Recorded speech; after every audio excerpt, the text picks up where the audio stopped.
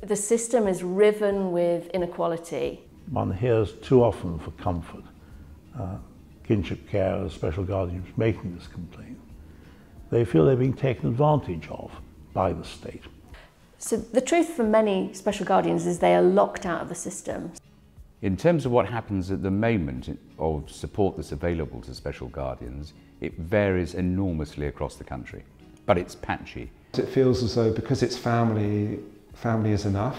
I think local authorities have been slow to recognise the particular needs of, of special guardians. I think they're, they're getting a lot better at that now. We as a society haven't yet recognised just how much we owe special guardians and that we really need to be investing in it.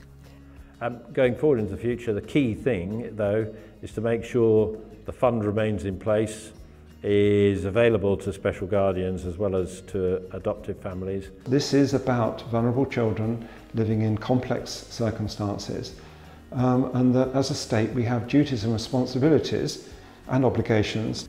But ultimately comes back to this, I mean, are we a decent, caring society? And if the answer to that is yes, then these resources have to be found.